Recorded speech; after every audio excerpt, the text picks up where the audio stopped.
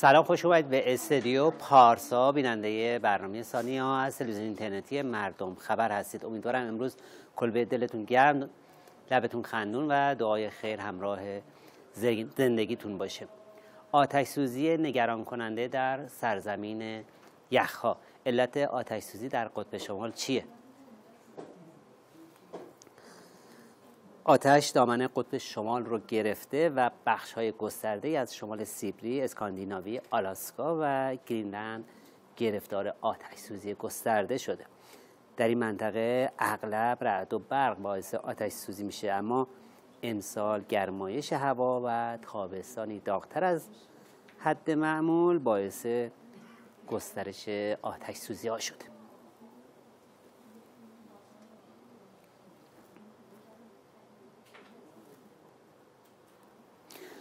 مسابقه ماشین های چمنزنی از جمله رویدادهای تفریح ورزشی هستش که تصاویر اون در شبکه های اجتماعی به اشتراک گذاشته شده.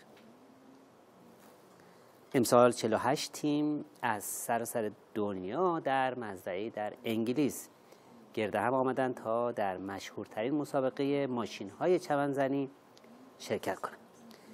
این مسابقه که دوازده ساعت طول می‌کشه و بیشتر زمان آن در شب سپری میشه. مسابقه طاقت فرساس و استقامت ذهنی و بدنی بالایی میطلبه.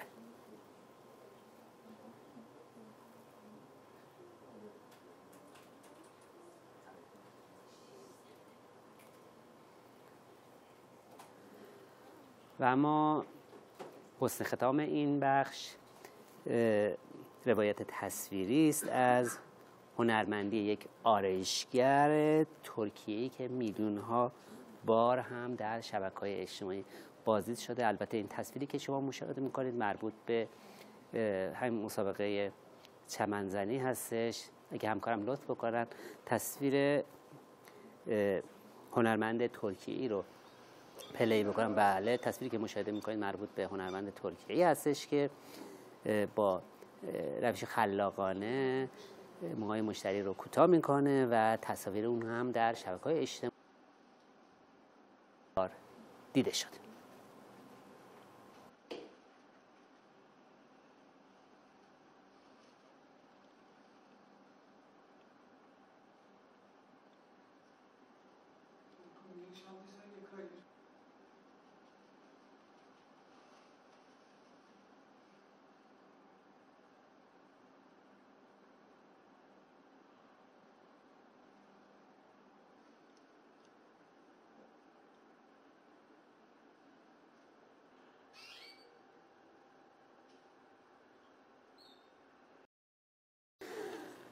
سپاس از نگاهتون مواظب خودتون دور باشین.